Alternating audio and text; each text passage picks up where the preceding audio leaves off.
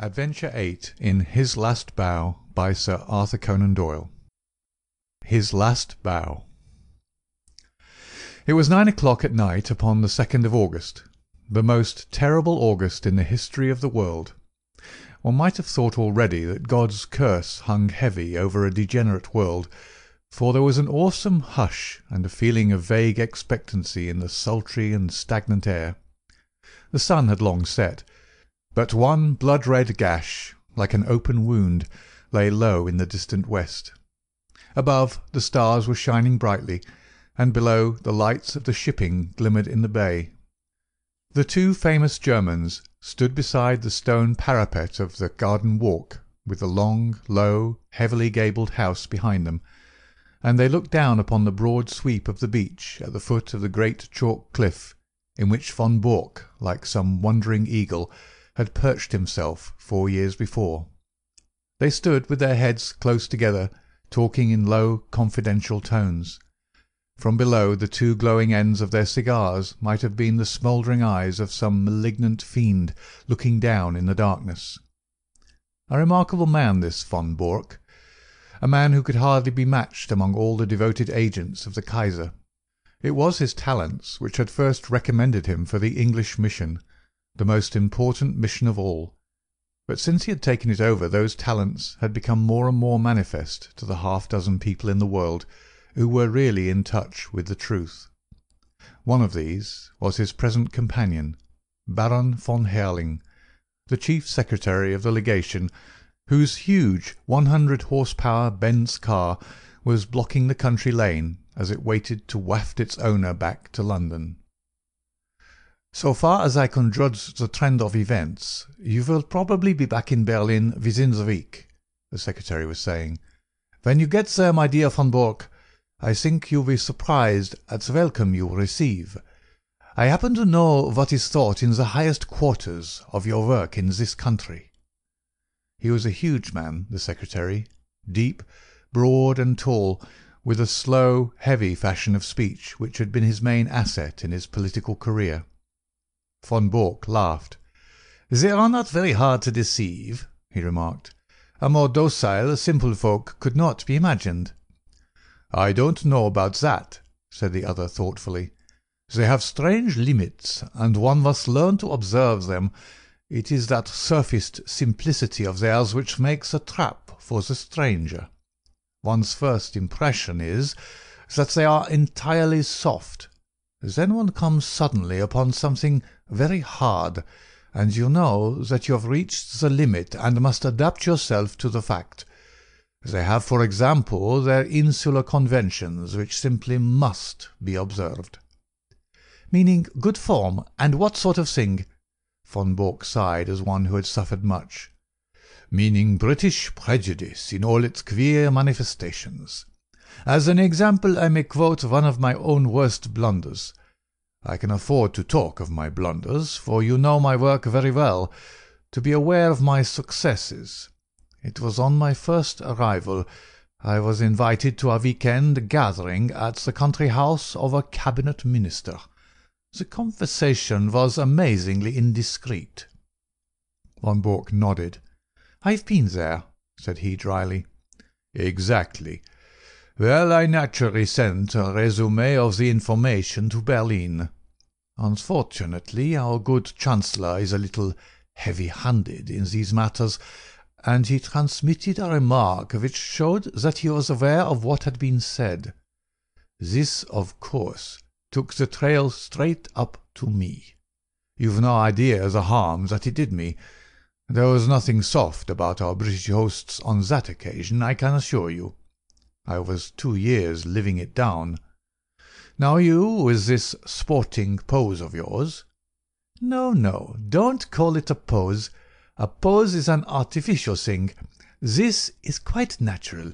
I am a born sportsman. I enjoy it." "Well, that makes it more effective. You yacht against them, you hunt with them, you play polo. You match them in every game. Your four in hand takes the prize at Olympia. I've even heard that you go the length of boxing with the young officers. What is the result? Nobody takes you seriously.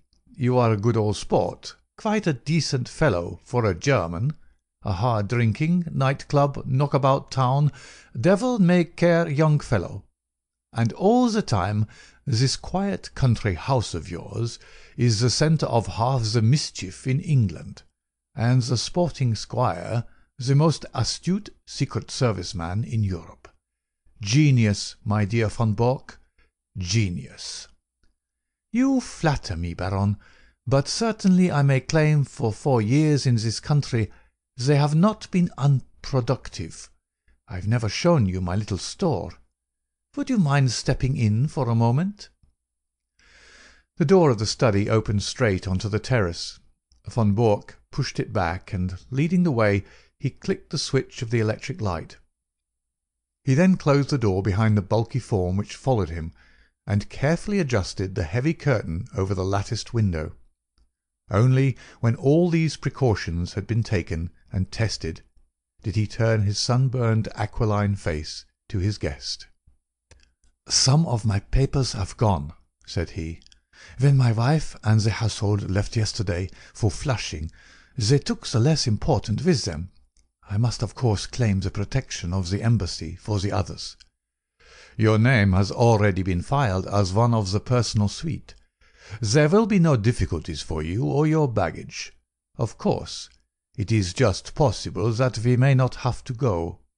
England may leave France to her fate. We are sure that there is no binding treaty between them." "And Belgium?"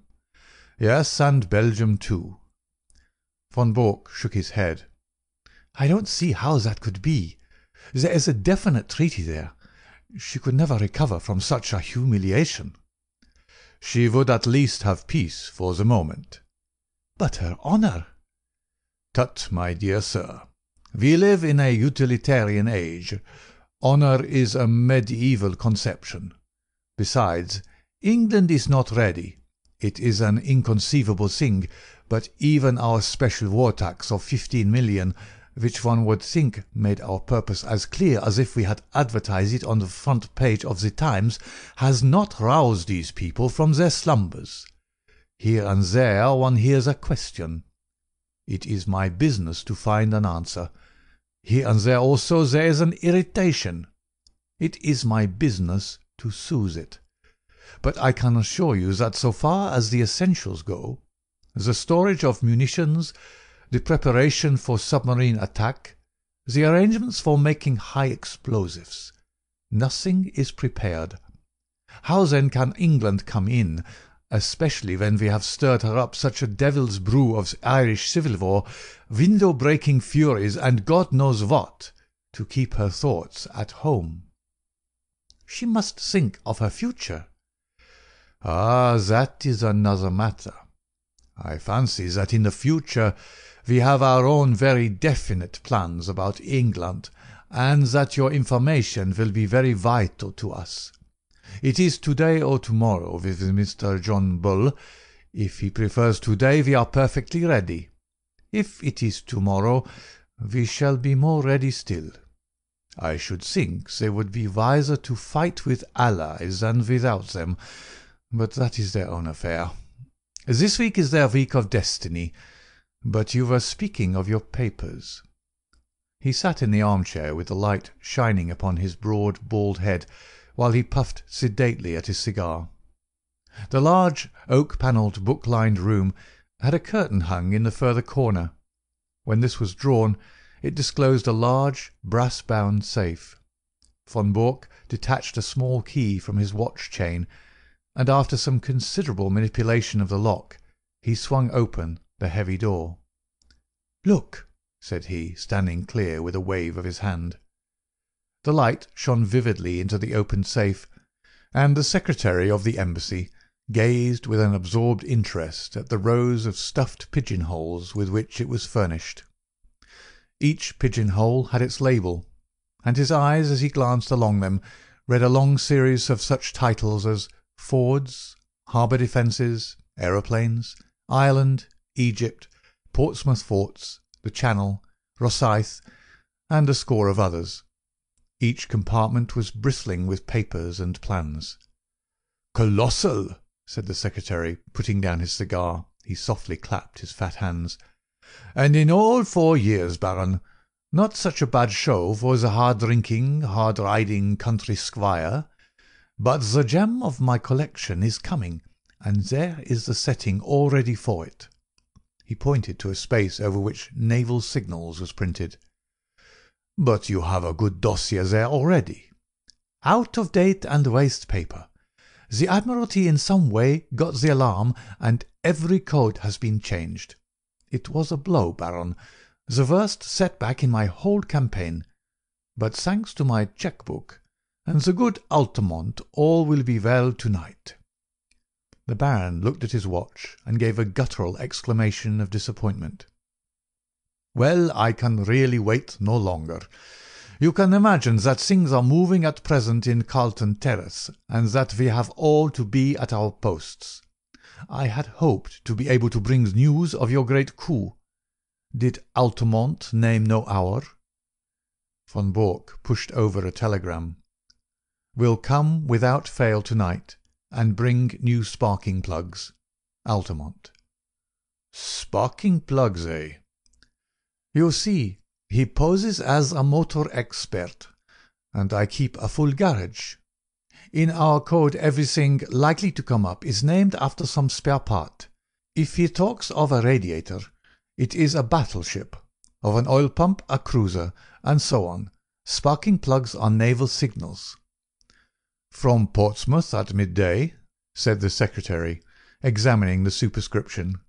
"By the way, what do you give him?" Five hundred pounds for this particular job. Of course, he has a salary as well." "The greedy rogue! They are useful, these traitors, but I grudge them their blood money." "I grudge Altamont nothing. He is a wonderful worker. If I pay him well, at least he delivers the goods, to use his own phrase. Besides, he is not a traitor. I assure you that our most pan Germanic Junker is a sucking dove in his feelings towards England as compared with a real bitter Irish American." "Oh, an Irish American!" "If you heard him talk you would not doubt it. Sometimes, I assure you, I can hardly understand him. He seems to have declared war on the King's English as well as on the English King. Must you really go? He may be here any moment. "No, I am sorry, but I have already overstayed my time.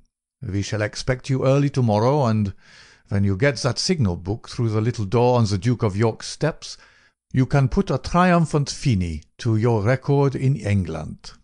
What? Tokay?" He indicated a heavily sealed dust covered bottle which stood with two high glasses upon a salver. "May I offer you a glass before your journey?" "No, thanks but it looks like revelry." "Altamont has a nice taste in wines, and he took a fancy to my Tokay. He is a touchy fellow and needs humouring in small things. I have to study him, I assure you." They had strolled out on to the terrace again, and along it to the further end, where at a touch from the Baron's chauffeur the great car shivered and chuckled. "Those are the lights of Harwich, I suppose?" said the secretary, pulling on his dust coat. "How still and peaceful it all seems. There may be other lights within the week, and the English coast a less tranquil place. The heavens, too, may not be quite so peaceful, if all that the good Zeppelin promises us comes true. By the way, who is that?" Only one window showed a light behind them. In it there stood a lamp, and beside it, seated at a table was a dear old ruddy faced woman in a country cap. She was bending over her knitting and stopping occasionally to stroke a large black cat upon a stool beside her. "That is Martha, the only servant I have left." The secretary chuckled. "She might almost personify Britannia," said he, "with her complete self absorption and general air of comfortable somnolence. Well, au revoir, Von Bork." With a final wave of his hand he sprang into the car, and a moment later the two golden cones from the headlights shot through the darkness. The secretary lay back in the cushions of the luxurious limousine with his thoughts so full of the impending European tragedy that he hardly observed that as his car swung round the village street it nearly passed over a little ford coming in the opposite direction.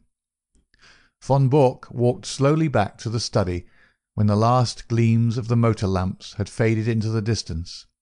As he passed he observed that his old housekeeper had put out her lamp and retired. It was a new experience to him, the silence and darkness of his widespread house, for his family and household had been a large one. It was a relief to him, however, to think that they were all in safety, and that, but for that one old woman who had lingered in the kitchen, he had the whole place to himself. There was a good deal of tidying up to do inside his study, and he set himself to do it until his keen, handsome face was flushed with the heat of the burning papers. A leather valise stood beside his table, and into this he began to pack very neatly and systematically the precious contents of his safe. He had hardly got started with the work, however, when his quick ears caught the sounds of a distant car. Instantly he gave an exclamation of satisfaction, strapped up the valise, shut the safe, locked it, and hurried out on to the terrace. He was just in time to see the lights of a small car come to a halt at the gate. A passenger sprang out of it and advanced swiftly toward him, while the chauffeur, a heavily built elderly man with a grey moustache, settled down like one who resigns himself to a long vigil. "Well?" asked von Bork eagerly, running forward to meet his visitor. For answer the man waved a small brown paper parcel triumphantly above his head. "You can give me the glad hand to night, mister," he cried. "I'm bringing home the bacon at last." "The signals?" "Same as I said in my cable. Every last one of them. Semaphore, lamp, code, Marconi. A copy, mind you, not the original. That was too dangerous. But it's the real goods, and you can lay to that." He slapped the German upon the shoulder with a rough familiarity from which the other winced. "Come in," he said. "I'm all alone in the house. I was only waiting for this. Of course, a copy is better than the original. If an original were missing, they would change the whole thing. You think it's all safe about the copy?" The Irish American had entered the study and stretched his long limbs from the armchair. He was a tall, gaunt man of sixty, with clear cut features and a small goatee beard which gave him a general resemblance to the caricatures of Uncle Sam. A half smoked, sodden cigar hung from the corner of his mouth, and as he sat down he struck a match and relit it. "Making ready for a move?" he remarked as he looked round him. "Say, mister," he added as his eyes fell upon the safe, from which the curtain was now removed, "you don't tell me you keep your papers in that?" "Why not?" Gosh! in a wide open contraption like that! And they reckon you to be some spy! Why, a Yankee crook would be into that with a can opener. If I'd known that any letter of mine was going to lie loose in a thing like that I'd have been a mug to write to you at all." "It would puzzle any crook to force that safe," von Bork answered. "You won't cut that metal with any tool." "But the lock?" "No, it's a double combination lock. You know what that is?" "Search me," said the American. "Well, you need a word as well as a set of figures before you can get the lock to work." He rose and showed a double radiating disc round the keyhole. "This outer one is for the letters, the inner one for the figures." "Well, well, that's fine." "So it's not quite as simple as you thought. It was four years ago that I had it made, and what do you think I chose for the word and figures?" "It's beyond me." "Well, I chose August for the word and 1914 for the figures, and here we are." The American's face showed his surprise and admiration. "My, but that was smart! You had it down to a fine thing." "Yes, a few of us even then could have guessed the date. Here it is, and I'm shutting down to morrow morning." "Well, I guess you'll have to fix me up also. I'm not staying in this goddam country all my lonesome. In a week or less, from what I see, John Bull will be on his hind legs and fair ramping. I'd rather watch him from over the water." "But you're an American citizen." "Well, so is Jack James an American citizen. But he's doing time in Portland all the same. It cuts no ice with a British copper to tell him you're an American citizen. It's British law and order over here,' says he. By the way, mister, talking of Jack James, it seems to me you don't do much to cover your men." "What do you mean?" Von Bork asked sharply. "Well, you're their employer, ain't you? It's up to you to see they don't fall down. But they do fall down, and then when did you ever pick 'em up? There's James "It was James' own fault. You know that yourself.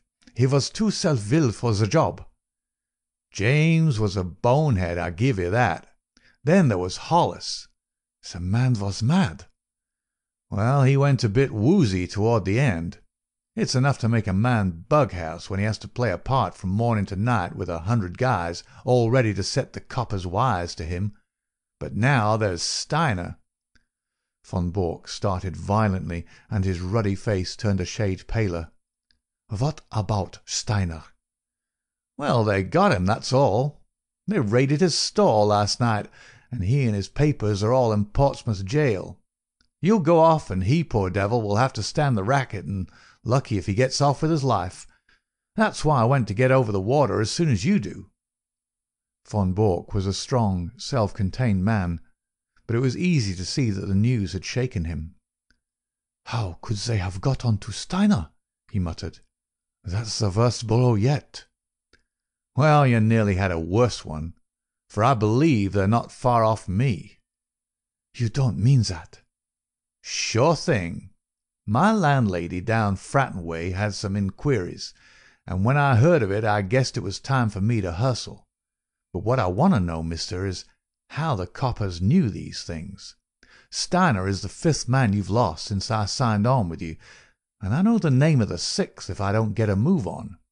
How do you explain it? And ain't you ashamed to see your men go down like this?" Von Bork flushed crimson. "How dare you speak in such a way?" "If I didn't dare things, mister, I wouldn't be in your service. But I'll tell you straight what's in my mind. I've heard that with you German politicians, when an agent has done his work you're not sorry to see him put away." Von Bork sprang to his feet. "Do you dare to suggest that I have given away my own agents?" "I don't stand for that, mister. But there's a stool pigeon or a cross somewhere, and it's up to you to find out where it is. Anyhow, I'm taking no more chances. It's me for Little Holland, and the sooner the better. Von Bork had mastered his anger.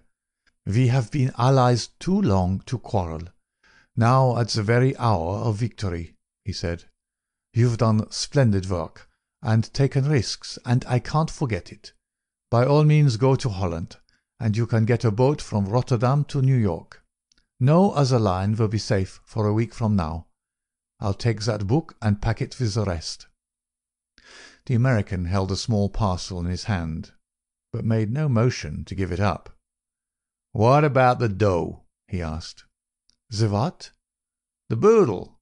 The reward. The five hundred pounds. The gunner turned damn nasty at the last, and I had to square him with an extra hundred dollars, or it would have been Nitsky for you and me. 'Nothing doing,' says he, and he meant it, but the last hundred did it. It's cost me two hundred pound from first to last so it isn't likely I give it up without getting my wad." Von Bork smiled with some bitterness. "You don't seem to have a very high opinion of my honour," said he. "You want the money before you give up the book." "Well, mister, it is a business proposition." "All right. Have your way." He sat down at the table and scribbled a cheque, which he tore from the book, but he refrained from handing it to his companion. "After all, since we are to be on such terms, Mr. Altamont," said he, "I don't see why I should trust you any more than you trust me. Do you understand?" he added, looking back over his shoulder at the American. "There's the cheque upon the table. I claim the right to examine that parcel before you pick the money up." The American passed it over without a word. Von Bork undid a winding of string and two wrappers of paper. Then he sat gazing for a moment in silent amazement at a small blue book which lay before him. Across the cover was printed in golden letters, "Practical Handbook of Bee Culture." Only for one instant did the master spy glare at this strangely irrelevant inscription. The next he was gripped at the back of his neck by a grasp of iron, and a chloroformed sponge was held in front of his writhing face. "Another glass, Watson?" said Mr. Sherlock Holmes, as he extended the bottle of imperial Tokay. The thick-set chauffeur, who had seated himself by the table, pushed forward his glass with some eagerness. "It is a good wine, Holmes." "A remarkable wine, Watson. Our friend upon the sofa has assured me that it is from Franz Josef's special cellar at the Schönbrunn Palace. Might I trouble you to open the window, for chloroform vapour does not help the palate." The safe was ajar, and Holmes, standing in front of it, was removing dossier after dossier, swiftly examining each, and then packing it neatly in Von Bork's valise. The German lay upon the sofa sleeping stertorously, with a strap round his upper arms and another around his legs. "We need not hurry ourselves, Watson. We are safe from interruption. Would you mind touching the bell? There is no one in the house except old Martha, who has played her part to admiration. I got to the situation here when first I took the matter up. Ah, Martha, you will be glad to hear that all is well. The pleasant old lady had appeared in the doorway. She curtsied with a smile to Mr. Holmes, but glanced with some apprehension at the figure upon the sofa. "It is all right, Martha. He has not been hurt at all." "I am glad of that, Mr. Holmes. According to his lights, he has been a kind master. He wanted me to go with his wife to Germany yesterday, but that would hardly have suited your plans, would it, sir?" "No, indeed, Martha. So long as you were here I was easy in my mind. We waited some time for your signal to night." "It was the secretary, sir." "I know. His car passed ours." "I thought he would never go. I knew that it would not suit your plans, sir, to find him here." "No, indeed.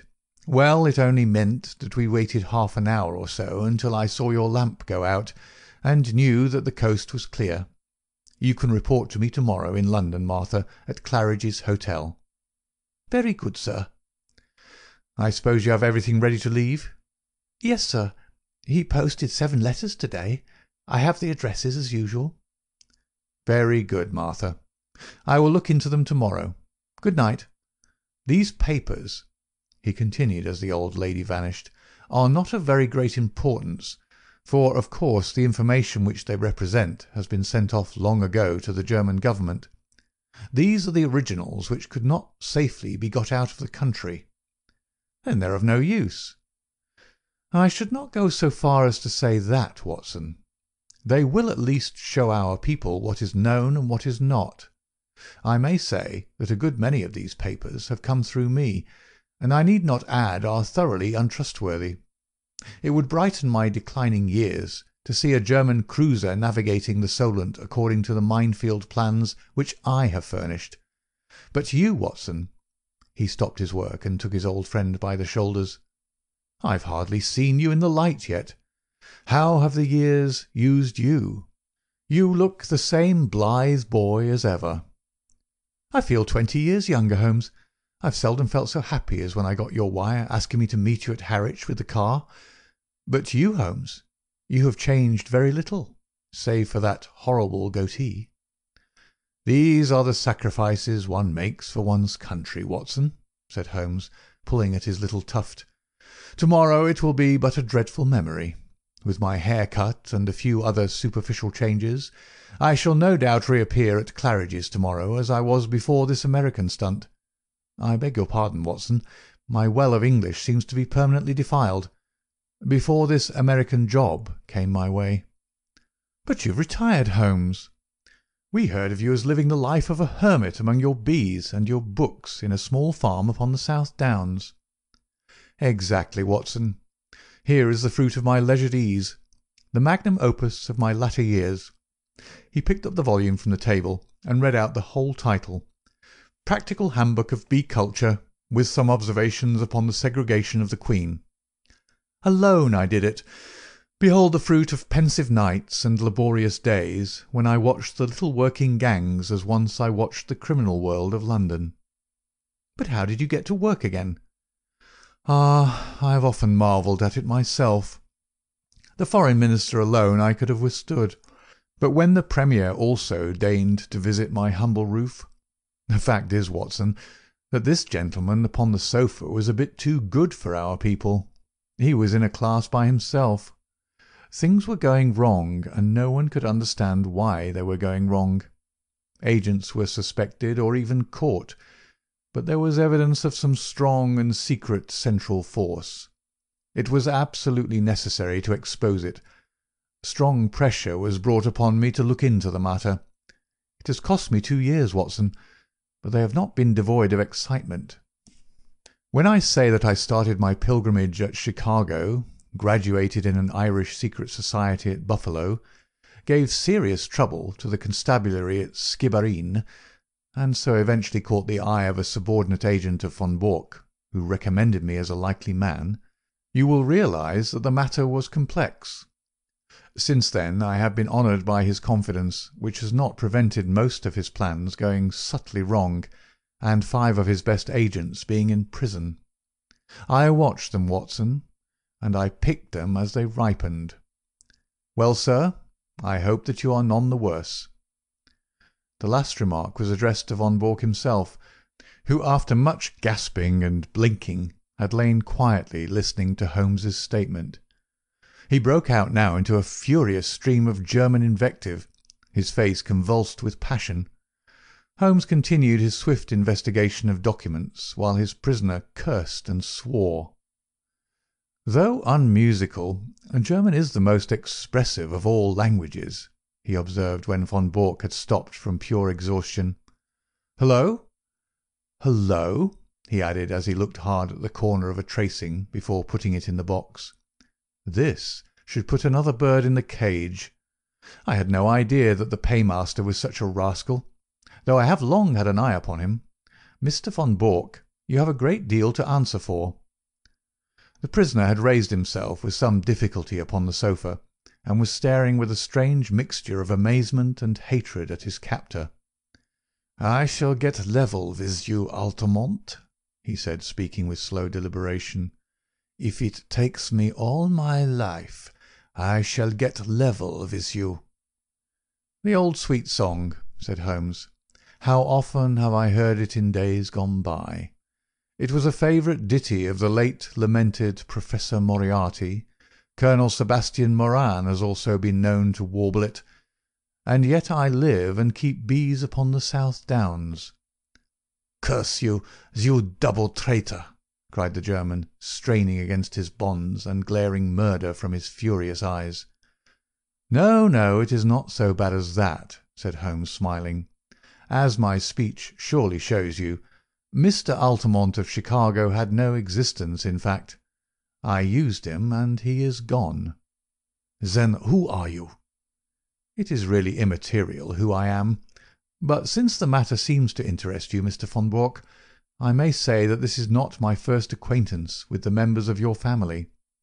I have done a good deal of business in Germany in the past, and my name is probably familiar to you."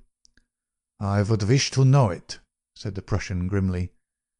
It was I who brought about the separation between Irene Adler and the late King of Bohemia when your cousin Heinrich was the imperial envoy. It was I also who saved from murder by the Nihilist Klopman Count von and zu Grafenstein, who was your mother's elder brother. It was I Von Bork sat up in amazement. "There is only one man!" he cried.